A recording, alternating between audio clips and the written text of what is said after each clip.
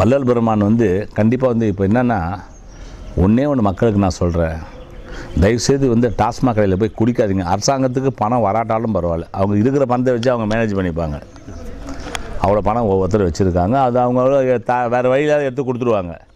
தயவுசெய்து டாஸ்மாக் கடையில் போய் குடிக்காதீங்க. ஏன்னா அது விஷ தண்ணி இல்லைன்னா அந்த க அந்த த கம்பெனி செய்கிறான் பாரு அவன் தயவுசெய்து மூடிட்டு நீ. நீ மூடிட்டு நீ ஏன் பாவத்தை வேலைக்கு வாங்குற? என்ன பண்ண போகிற முடி முடி மன்னரெல்லாம் பிடி பிடி சாம்பல் ஆனார்னார் என்னத்தை கொண்டு போகிற ஒன்றும் இல்லை. அந்த க ஃபேக்ட்ரியை மூடிடு. மூடிட்டா தொல்லையே கிடையாது. நீ ஒன்றும் இந்த காய்த்தால் ஒன்றும் பண்ண முடியாது. எதுவுமே யாராவது இந்த இந்த தண்ணி கடையை வச்சுருந்தவன் எவனா உருப்படியாக இருக்கானா பார்த்தியா பிரச்சனையாக கிடப்பான். எத்தனை பேர் வயிறு எரிஞ்சதோ அத்தனை வயிற்றெரிச்சலும் நிறுத்தக்கூடிய வல்லமை இருந்து நிறுத்தாமல் இருக்கிறவனுக்கு போய் சேர்ந்துருமா என்னது? Correct sir. நிறுத்தக்கூடிய வல்லமை இருந்தும் அது நிறுத்தாமல் போனதனால் அந்த சக்தி பூரா போய் அந்த தீய சக்திகள் எரிச்சல்ல வயிற்றெரிச்சல் அங்கே போய் சேர்ந்துடும் பெரிய பெரிய ஒன்றும் டாக்டர் என்ன பண்ண முடியும்?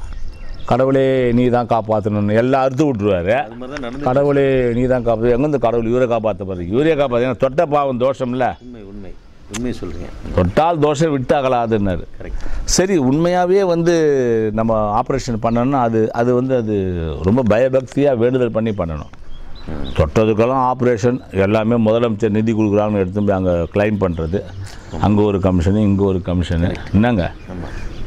ஹெல்த்து போச்சுங்க.